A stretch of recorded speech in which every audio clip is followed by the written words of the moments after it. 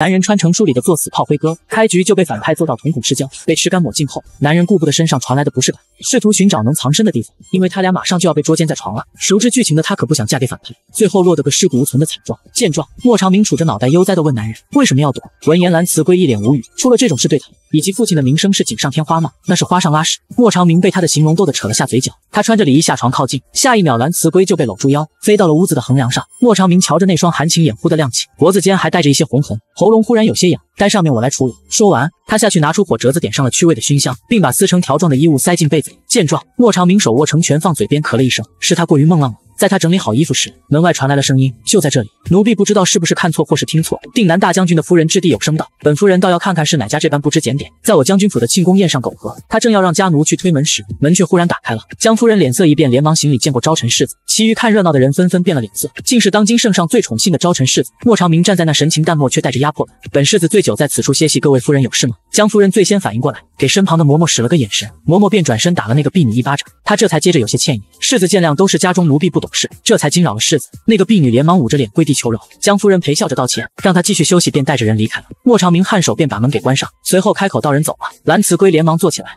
居高临下和莫长明对上视线，然后他发现莫长明视线往下移了些，顺着他的目光看过去，耳朵和脸色涨红不已，迅速拢过衣服，瞪了他一眼。他只来得及披了一件外衣，腿被风吹着有些凉快。莫长明不自然地转过身，他并非是有意的。蓝慈归看了下自己的位置，有些羞赧：“你能不能把我送下去？”话落，莫长明轻功飞上来，搂过他的腰带下去。下来后，他就松开手，往后退了几步，两人保持着安全距离。蓝慈归掀开被子找自己的衣服，却被他拦住：“我让人送一套新的过来。”蓝慈归想了一下，抿唇，有些脸热：“能是一模一样的吗？”这是自然。你先在这个房间待一会儿，我去给你拿衣服。说完，他便一把抓过藏在被子里的衣服，出了门。蓝慈归拢了一下衣服，坐在床上，开始思考现在的处境。在原著中，两人因为这一场算计，被众人抓奸，声名狼藉下，只能成婚。成婚后，莫长明对他没有感情，而在婚后的他变成一种可怕的控制欲，以及得不到就毁掉的想法。和主角攻受联合起来破坏莫长明的计划。最后，主角受觉得他过于无情无义，便把他杀了。蓝慈归一下子瘫在床上，困意涌上来，他索性扒拉下被子盖在身上睡了过去。莫长明拿着衣服回来时，发现他已经睡着，还发出细微鼾声，把衣服放在枕边，然后坐在桌子边。开始细细思虑这件事，此事应该与那人有关。荣国公府不站队，而皇上又对他十分重视。那人为了铲除异己，算计他。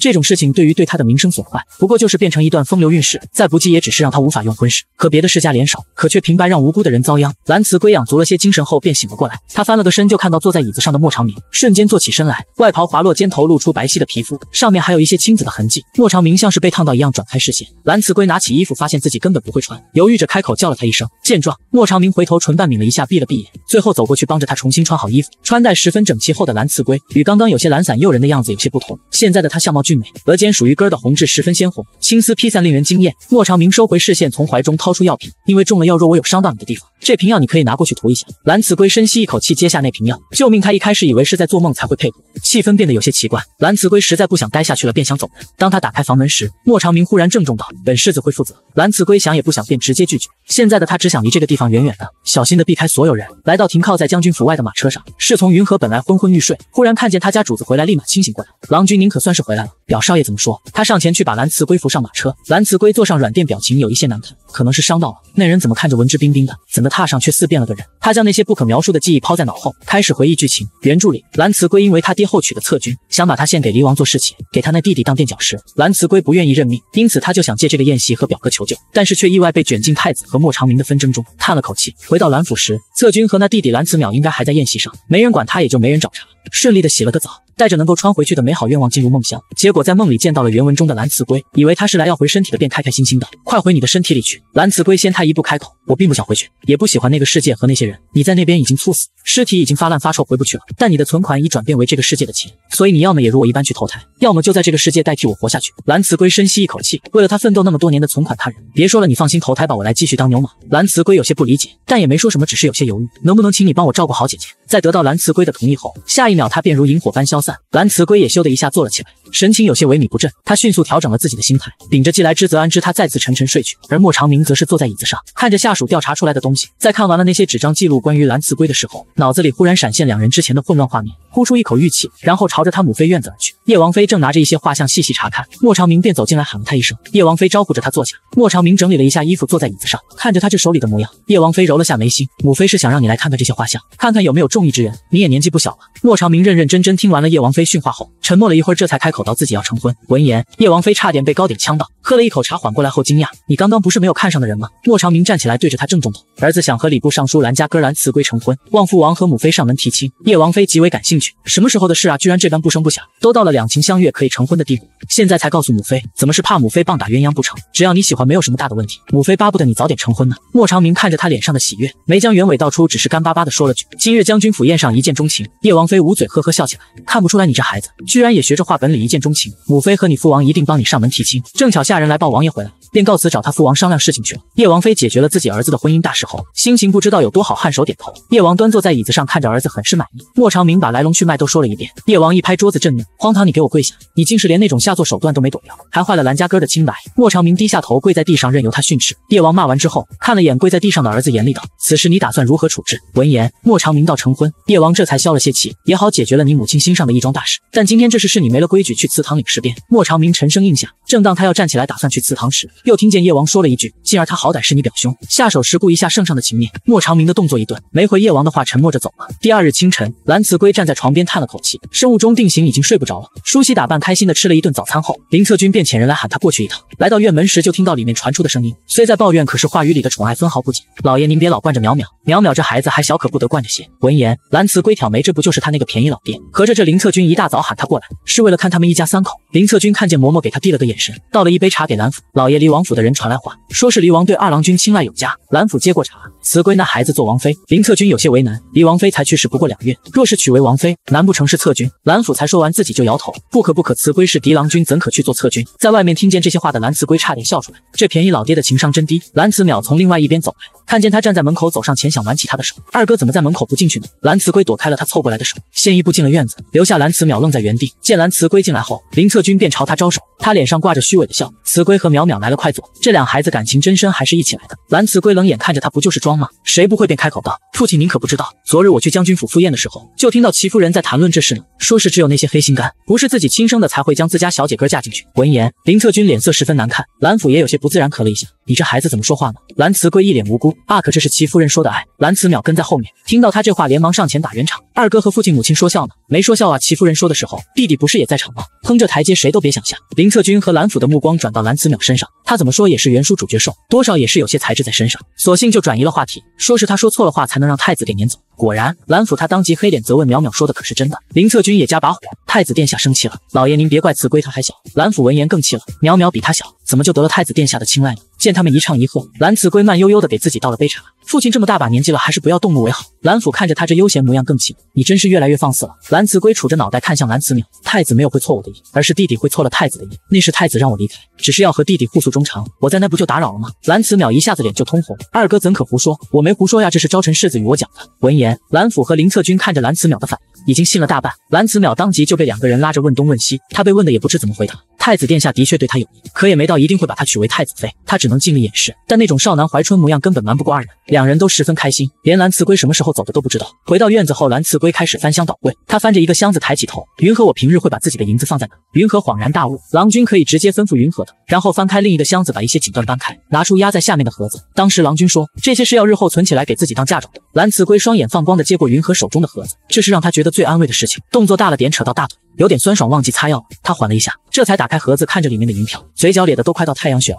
他要想个办法离开这个是非中心，不然怎么着都会被扯进去。尤其是他和莫长明发生了那种关系，所以得趁早做打算。云和想起了在林策军门口听到的那些话，有些担忧。郎君若是策军和老爷再说道说道，真把您嫁给离王做策军，这可如何是好？蓝慈归放下自己的存钱盒，放心，真要跑，一定把你俩带上。船到桥头自然直。他打算换个衣服出趟门。云和拿来一个香囊，正要给他佩戴时，蓝慈归往后退了一大步，想起这正是蓝慈苗给放了催情药的香囊，开口道换一个你们用的香囊。沈国的习俗有些不同，男子必须佩戴玉，而哥儿和小姐必须佩戴香囊。雨佳当即上前一步，把香囊拿过来扔在一边，然后再掏掏自己的荷包，拿出一个新的香囊。三人很快就出了门。要想做生意，首先得了解市场，做好市场调研，找准定位。蓝慈龟首先将目标放在了胭脂水粉上，于是云和和雨佳打算带着他去最受欢迎的千方阁。一路走来，蓝慈龟觉得路边的人看他的眼光都很怪，他连忙走到一旁问云和和雨佳：难不成是我牙缝里卡菜了？云和和雨佳摇头，蓝慈龟有些不解，那他们为什么看我？云禾很自然道：“郎君的容貌在沈国美人榜排行第三，那些人自然恨不得多看几眼。”蓝慈归揉揉眉心，面上出现愁。这个美人榜不知道是谁排的名，但是在民间广为流传，越来越多的人集中。蓝慈归连忙带着二人加快速度走了。到了千方阁后，这种情况才稍微好了些。小二带着蓝慈归来到了二楼的展台处，拿起一款口脂递给他：“您看这口脂的颜色极为粉嫩，定能让您的容貌更上一层楼。”蓝慈归拿着这死亡芭比粉的口脂陷入了沉默，他放下了。问还有其他颜色吗？小二又给他介绍另一款。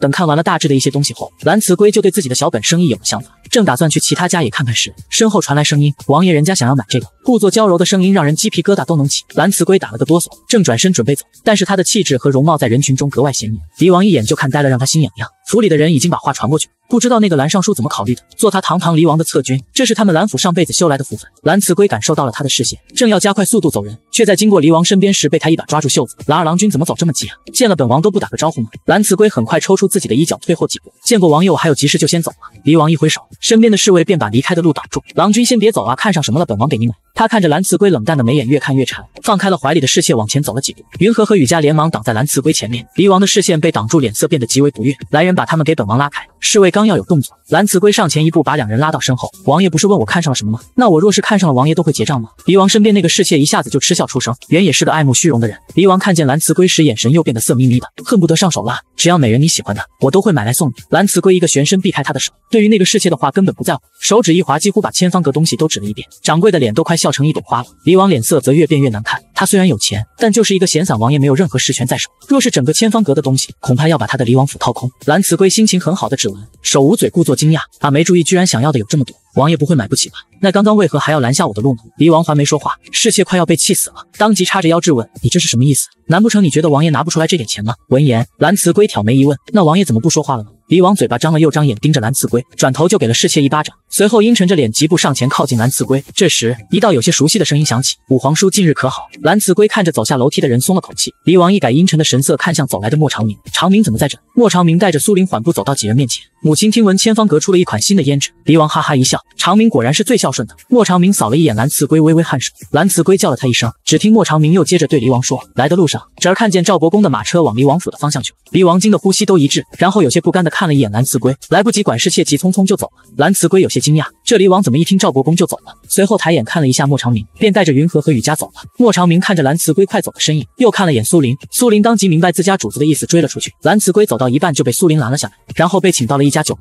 雅间内莫长明坐在他的对面，倒了一杯茶。蓝慈归单独面对这人有些尴尬，不过这人把他喊来，却在这一直给他倒茶喝，也不说话倒地是什么意思？为了让自己的膀胱主动开口道谢。不过离王怎会一听到赵国公就急着走了呢？莫长明掀起眼帘注视着他，你不想他走吗？赵国公是以是离王妃的兄长，那他就明白了。这离王心虚，离王妃的去世有蹊跷。蓝慈归接着问，世子约我到这里来所为何事？所谓婚事。蓝慈归猛地抬头，他不解地指着莫长明，又指向自己。莫长明看着他点了头，说会负责的，我会负责。蓝慈归看着他认真的样子，端起茶杯喝了一口，我想一下。莫长明看出来他不愿，可蓝慈归失身于他，他没办法做到当这件事情没有发生。若是不小心有了孩子呢？为了把这些不确定因素扼杀，两人的婚事必定要进行。离王虽没权，但他怎么也是皇家中人，以他刚刚那种态度，对你的觊觎之心必定是不会打消的。你们府里的林策军也是不省心。闻言，蓝慈归知道他说的不无道道理，所以现在的最优解就是和莫长明成婚，只要他不去做那些作死的事情，按照莫长明的性格，两人也可以和睦相处。到时若自己真的要做生意，还有叶王府做靠山，这么一想还挺不错。蓝慈归想通后，便问他何时上门提亲。明日若是你着急，今日或许有些匆忙。蓝慈归摆摆手，那就今日吧。莫长明想了一下，点头，然后便起身离去。蓝慈归也回了蓝府。苏林跟着主子出门，只听莫长明吩咐他：“你速回府，告诉母亲和父亲去蓝府提亲。”闻言，苏林应下，便运起轻功往叶王府而去。而莫长明骑马往皇宫而去。进了宫后，不费什么吹灰之力，便求到了一道赐婚的圣旨。想起殿内皇上打趣他的话，没想到进儿居然会对人一见钟情。再见清心朕，还从未见你有如此急迫之事。若是朕不应你这要求，那岂不是拆散了一对佳偶？莫长明看着手里的圣旨，眼神变得幽深，旋身骑上马就出宫了。蓝府，蓝慈归才回到府内，管家皮笑肉不笑的对他道：“二郎君老爷，请您过去一趟。”结果才到大厅门槛处，一个茶盏就被砸了过来。若不是他反应快，及时缩回了脚，那滚烫的茶水就悉数洒在他脚背上。蓝慈归看向坐在主位的便宜爹，这个便宜爹怕不是有躁狂症？你还敢回来？他跨过那一堆破碎的瓷器，走进大厅。为什么不敢呢？你都敢活着，我当然敢回来。林策军坐在蓝府旁边，幸灾乐祸的看着蓝慈归，不带怕的，反正他不会委屈自己。这蓝府刚刚都要拿茶盏砸他了，还想指望他好好说话？蓝府指着他，你这逆子怎能在大庭广众之下勾引离王？听着那些闲言碎语，他脸都要被这逆子丢光了。林策军轻轻拍着他的后背，老爷不要与慈归置气。慈龟自小就是这般性子。闻言，蓝慈龟脸色一下子冷了下来，扯动嘴角。那还是林策军以身作则教的好。策军什么性子，我不就有样学样？分明是那离王纠缠不休，父亲真是耳聋眼瞎，觉得是我勾引他。语气缓缓说出的话，差点把蓝父气个升天。来人，给我请家法。云河一下子跪在地上，老爷，郎君是冤枉的呀。雨家却是挡在蓝慈龟面前，很凶的看着朝他们走近的家奴。林策军看着这场景，勾起嘴角，他倒要看看今日这人要怎么逃过家法。男人刚穿越就被做到瞳孔失焦，被反派吃干抹净后，还想对他负责，为此还专门进宫求取一道圣旨。就在蓝父即将将要给兰兰加法时，兰兰冷眼看着不断走近的家奴，慢慢说出一个地方和一个人名：梨花巷袁社军。兰府和林策军的脸色变得极为难看。蓝慈龟看着两人有些慌张，想听我继续说下去吗？兰府急忙阻止慢，若是我被罚了，心存怨念，改日有些事情可就传遍大街小巷了。林策军不敢说话，生怕老爷察觉到什么，只能在兰府背后瞪着蓝慈龟，警告他不要乱说话。蓝慈龟端起茶杯细细品尝，果然还是这种时候的茶最好喝。兰府吐出一口玉气，罢了，看在你知错能改的份上，家法就免了。这几日你都不得出府。还没等蓝慈龟接着说话，小厮便急匆匆的进来。老爷，老爷，招臣世子带着圣旨上门。莫长明大踏步走进来，蓝府众人接旨。蓝府忙从主位上下来，迎了过去，跪在地上。蓝慈龟和莫长明对上一眼，这万恶的社会他也得跪。奉天承运，皇帝诏曰：招臣世子莫长明，宗务朝端，正数有闻。礼部尚书之子蓝慈龟，才得兼行妙龄之年。担心沐月，及臣梁希、珠帘璧合，锦堂此夜，与世子堪称天造地设，佳偶天成。特此赐婚为世子妃，有司择日，主者施行。蓝府众人皆谢恩。蓝府本来都想同意策军的建议，把蓝慈龟献给离王了，没想到这突然一下子就变成了世子妃。他连忙想要去接过圣旨，结果莫长明直接绕过他，把圣旨递给蓝慈龟。蓝慈龟也不推脱，直接拿了过来。在接圣旨时，手指不小心触到了他的尾指。莫长明只感觉皮肤有些酥麻，将手背在后面轻轻摩挲。门外再次传来小厮的声音：“老爷，叶王和叶王妃上门来纳采了。”蓝府连忙收敛起不悦，赶忙去迎。蓝慈龟歪头看莫长明，两手准备。莫长明点头。若是他主动求皇上赐婚，离王绝不敢动什么手脚，而且世人也不会对这门婚事，对他未来的世子妃多说什么。蓝慈龟自然想明白这一点，多看了他一眼。结果两人目光刚好撞在一起，这一幕恰恰好被叶王妃看在眼里。哎呦，这有了媳妇的儿子就是不一样，还专门进宫请了道赐婚的圣旨。蓝府忙招待着他们。王爷王妃快请上座。下官这多有怠慢，还请多多见谅。叶王倒是看了一眼蓝慈龟手里的圣旨，然后坐在了上座聊婚事，而林策军则陪着叶王妃坐在另一边，言语很是讨好。叶王妃知道蓝。府的情况，对他的态度也是很敷衍，随口应了几句，然后笑得十分温婉，朝着莫长明和蓝慈龟招手：“孩子快来。”蓝慈龟走到叶王妃面前行礼，叶王妃拉着他的手轻轻拍了拍，是个好孩子，长得这般美，以后你与静儿的孩子必定也是漂亮的。蓝慈龟有些愕然，怎么就跳到孩子身上了？瞬间反应过来，这个世界的歌儿好像是可以怀孕生子。那天两人也没做什么防范措施，他默默看了眼肚子，莫长明自然听到了母亲的话，也望向了他的肚子，那日几次来着。把叶王他们送走后，蓝府蹙眉看向蓝慈龟，终究没说什么，带着愤恨不已的林策军走了。云河欣喜道：“太好了，郎君，我们不用再担心离王了。”雨家没有像云河那般欣喜，只是抬头问蓝慈龟：“郎君开心吗？”蓝慈龟含着笑摸摸两人的脑袋，对未。来充满了期待，日子过得很快。蓝慈龟在认真做市场调查和定位时，婚期也定了下来，就在秋旬初。蓝慈龟自然没意见，尽早脱离蓝府。其实对他做生意会方便一些，主要是在蓝府。蓝父和林策军时不时就想来管他，让他学各种礼仪和绣花。蓝慈龟看着手指上戳出来的几个穴洞，再看看摆在他前面的嫁衣，决定放弃挣扎。这不是他努力就能学会的。云禾看着心疼自家郎君，索性接过了绣活。蓝慈龟感激万分。云河，你是我的神。随着婚期越来越近，蓝慈龟只能在房间里开始做他的商业计划书，顺带练练字。蓝府担心他还到处乱跑。索性就让人守在他房门口。其实就算没人守，蓝慈龟也不打算出去了。毕竟随着他和莫长明的婚约传出去后，引得沈国国都内众人皆哗然，几乎走到哪都能听到哪家小姐、哪家哥儿又心碎了。就在婚礼前一天，蓝慈龟的亲姐蓝慈心回来了。别看她名字那么温柔，实则是一个在战场上奋勇杀敌的女将军。闻言，蓝慈龟听到这消息时，写字的手顿住。他的母亲是难产去世，他是姐姐照顾长大，但后面因为蓝慈心上了战场后很少回家。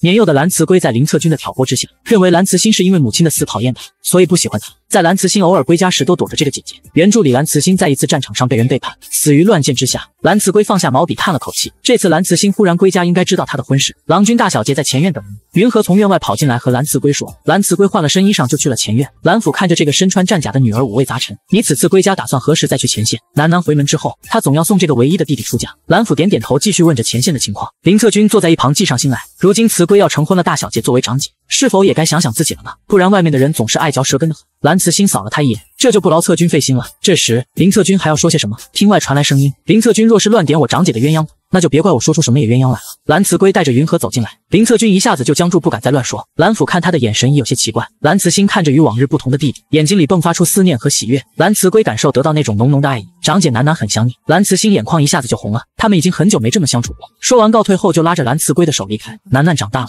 蓝慈龟回握住他。长大了也是长姐的楠楠。蓝慈心轻轻抚摸着她的头发，眼睛又忍不住红了。若是母亲还活着，定然十分开心。说完又意识到什么，连忙解释：“楠楠，长姐不是那个意思。”蓝慈归看着有些无措的蓝慈心，拍拍她的手：“我明白，以前是我被人挑拨，现在不会。长姐从未怪过你。若不是我常年在外，让你受了蒙蔽，那样的事情是不会发生的。”蓝慈归知道他的报复，也没有怪他。反而觉得这样的他让人钦佩不已。长姐还未见过我的嫁衣吧？闻言，蓝慈心眼睛亮了一下，楠楠愿意试一下给长姐看吗？蓝慈归进了房间，在云和雨家的帮忙下穿上了嫁衣。穿着嫁衣的她与平日里迥然不同。云和不由得发出惊叹声：“郎君，您真的太美了，怪不得世子会对您倾心，亲自求娶。”蓝慈归听见云和的话，心底有些好笑。莫长明可不是个肤浅的人，更何况那个人眼里可能只有他的大义。蓝慈心站起身，看着眼前嫁衣的弟弟，十分欣慰，但又忽然想起什么：“楠楠，你心悦世子吗？”蓝慈龟看着他变得有些担忧的眉眼颔首。闻言，蓝慈心放下心来，那便好。长姐这次回来还给你准备了嫁妆。他从怀里掏出一张纸，一一说给他听。莫长明一边交代这事情，一边拿上佩刀。木村的事情要处理好，还有太子那边。苏林点头应好。只有温平在犹豫，看着主子真的有些忘了的样子，他决定还是提醒一下主子，您是不是忘了明日是成婚之日啊？他们现在可不在国都内，如果要赶回去的话，今夜必须马不停蹄的动身。莫长明佩刀的动作一顿，他的确有些忘了。不想日子竟然过得这么快，忙了几天，面上几乎都是疲惫。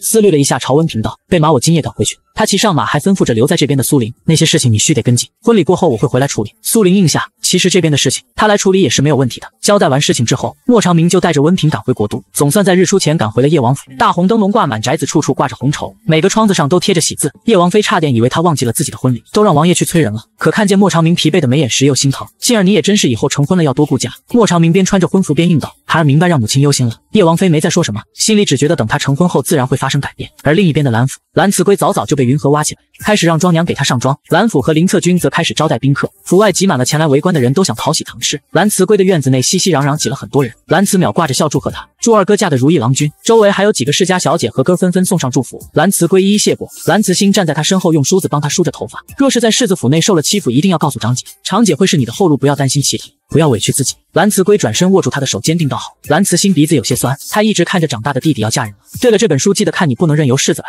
长姐、乳母这些事情我虽然没经历过，但是在军营中也有听说，初次总是受伤，你需得在开始前做好准备。蓝慈圭接过一看，好家伙，避火图，但这对于他俩没有必要。鞭炮声噼里啪啦炸得很响，身穿新郎官服饰的莫长明骑在高头白马上，随着鞭炮声和迎亲队伍敲锣打鼓的朝着蓝府而去，孩童跟在旁边笑着追队伍，看着世子仿若天人的脸，路上偷看的小姐哥都面红心跳。这蓝二郎君真是享福有这么个夫君。不过说来，蓝二郎君的容貌。意识极佳，队伍浩浩荡荡的来到了蓝府。几个公子哥拦在府外，开始为难莫长明，一手又一手的催妆师和射箭比试，让那些个公子哥心服口服。蓝慈心扶着蓝慈圭从屋内走出来，莫长明望向盖着盖头的蓝慈圭，世子会对难慈圭好吗？莫长明正色仿若在说誓言般，蓝将军请放心，莫长明一定会爱护好慈圭。蓝慈心把蓝慈圭的手交到了他的手里，蓝慈圭正担心自己会因为看不见摔跤，忽然就发现自己的手被长姐放在另一个人手心中。莫长明的手比他的要大，手心有茧也很温暖，被莫长明握着一路朝府外而去。蓝慈圭终究还是有些不习惯这嫁衣的长度。一个不小心踩到裙子，差点向前扑去时，莫长明握紧她的手，搂住她的腰身，将人拦腰横抱了起来。宾客都震惊了，世子与未来世子妃的感情真好。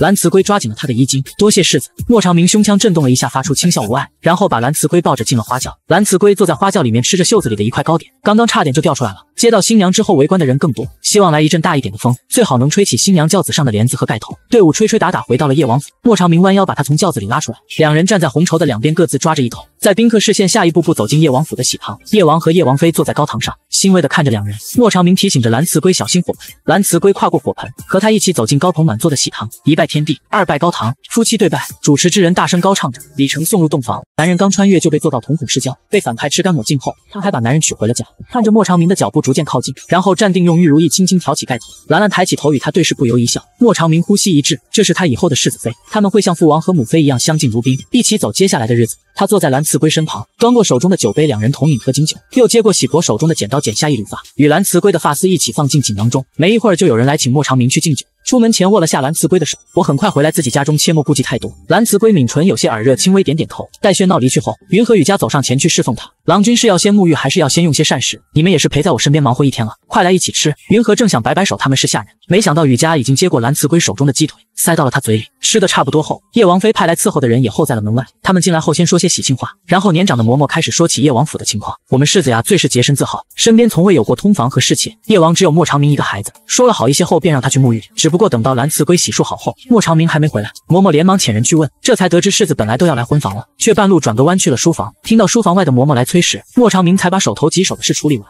这才反应过来，又赶往婚房。她坐在婚床上，看着蓝慈归，轻声道：“蓝二郎君，我平时可能公事会比较繁忙，会尽到一个丈夫的责任，但是在感情方面可能……”蓝慈归立马接话：“这不重要，我也会尽到一个世子妃的责任。本来他们也是因为一场意外绑在一起。”说清之后，莫长明转身就去洗漱了。蓝慈归躺在床上，思绪开始混乱。其实莫长明处理事务不回来也行，那洞房花烛夜好歹可以混过去。过了一会，便感觉到身侧有了动静。蓝慈归很想闭上眼睛睡，但是莫长明忽然出声：“夜里睡觉我不喜与人接触，今夜过后我很多时间可能会歇在书房。”蓝慈归意识有些昏沉，应了句后。没过一会儿，他脚忽然抽动一下，碰到了莫长明的小腿，瞬间吓醒。蓝慈归往里侧挪了一下，他真不是故意的。然后就听见莫长明问了一句：“还未睡着吗？”我听温平说，做些夫妻生活可以促进睡眠。莫长明暗哑着声音问：“所以今晚是新婚夜，可以吗？”蓝慈归听出了潜意思，回应好。随后就被一双大手搂了过去。新手司机跃跃欲试，再次上路。这次司机倒是比上次有了些经验，开车的时候也注意和车友磨合。红烛燃完，车停了。莫长明还把车带去清洗维修了一下。看着昏睡过去的蓝慈归，莫长明伸过去把他搂进了怀里。第二日，丫鬟端着洗漱的物品守在门外。蓝慈归醒来时，他清楚的发现自己躺在莫长明的怀里，腰还被一只大手禁锢着。深吸一口气，脑海里忽然想起莫长明说睡觉不喜与人接触，正准备轻手轻脚从他的怀里退出去，没想到才出到手就被攥住了手腕，力道还不小。蓝慈归痛呼。莫长明一下子睁开开眼睛，看见。是蓝瓷龟时愣住，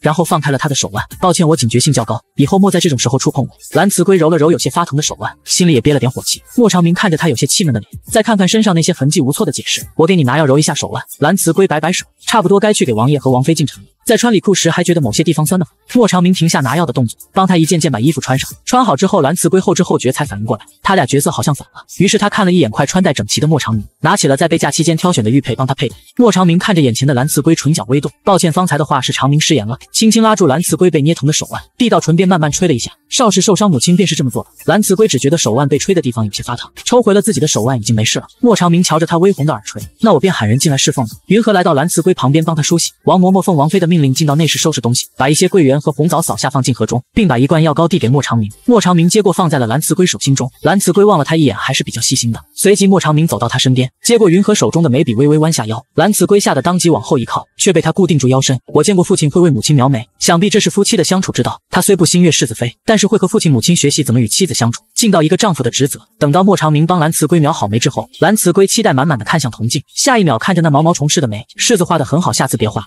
莫长明一脸不解，他觉得还挺好。云禾有些好奇的凑过去一看，嗤的一下笑出声，连忙过去帮着擦掉，重新描了眉。莫长明站在一旁，看着他的画法颇有领悟。等画完后，只听他说道：“第一次描眉却有不当，下次不会画成刚刚那样。”蓝慈归叹了口气，其实世子不必做这些的。还没等莫长明再说些什么，嬷嬷已经来催促敬茶事宜，两人便一起前往东院那边。莫长明的速度走得很快，蓝慈归落在了后面。温平看着大步向前走，根本没注意世子妃的主子操碎了心。蓝慈归看着他脸皱起来的样子。主动问你是世子身边的侍从，温平嘻嘻笑起来，告诉他自己叫温平。两人聊天时，莫长明的身形顿了一下，蓝慈归念了一下他的名字，倒很好听。温平摸摸脑袋，世子给我取的。蓝慈归还是挺喜欢这个温平的，很讨喜。莫长明心底有些造诣，停下步伐，站在蓝慈归身边。温平，你话太多了。温平一下退到和云禾并排的位置上，之后的路莫长明都是和蓝慈归并排一起走，偶有走快的时候，他就会放缓脚步等一下。温平不说话后，蓝慈归觉得这么走路有点尴尬，于是主动找话题。我能在府外做生意吗？这是他的生财之路，断不可废。就算莫长明有意见，他也会去做。莫长明垂眸看向他，夫人，这是你想做之事吗？蓝慈归被他那夫人两个字喊的，心底像只小猫，轻轻挠了一下，有些痒。对，而且是一定要做。那边去，若是有需要帮忙的，你告知温平。蓝慈归有些受宠若惊，连忙推脱。世子平时公务繁忙，就不多打扰了。莫长明却蹙紧了眉，夫人，我希望我们之间无需这般客气。我是你的夫君，定是要做好这些事情的。蓝慈归听着有些哭笑不得，这位世子爷还真是尽责。答应下来后，莫长明的眉头才缓缓松开。东院很快就到了，叶王和王妃所在的正院中，丫鬟婆子候着，皆是恭敬向他们行礼问好。王嬷嬷早就看见两人同行而来，笑着迎上去：“世子爷、世子妃来了。”王妃早就开始念着了，这不让老奴来瞧瞧。蓝慈归瞧着他还是很面善，昨晚也见过，点头。莫长明很尊重这位嬷嬷，朝他颔首，然后就带着蓝慈归进了屋。叶王妃看着两人并排一起走来的时候，心底十分满意，总算解决了这孩子的终身大事，而且还是他自个儿喜欢的。想必要不了多久，他就能抱孙子或孙女了。这越想啊，就越高兴，面上的笑意掩都掩不住。叶王也是很满意，看上去的确是一对璧人。莫长明和蓝慈归两人开始磕头敬茶，奉茶的人是王嬷嬷。莫长明先磕头，蓝慈归接过王嬷嬷端着的茶，随着莫长明一起喊了声父王。叶王平时不苟言笑的脸泛起笑容，然后给他递了一个红封，好孩子，日后与静儿定要相互扶持。蓝慈归含笑接过，然后又接过另一杯茶。叶王妃满脸慈爱的赶忙接过茶，给了他一个金丝檀木盒，好孩子，母妃盼着你能与静儿相知相爱。若以后静儿有欺负你的地方，尽管来找母妃，母妃给你做主。然后还褪下自己手上的白子如意纹，金镯戴在蓝慈归手腕上，拍拍他的手，自己家里不必拘束。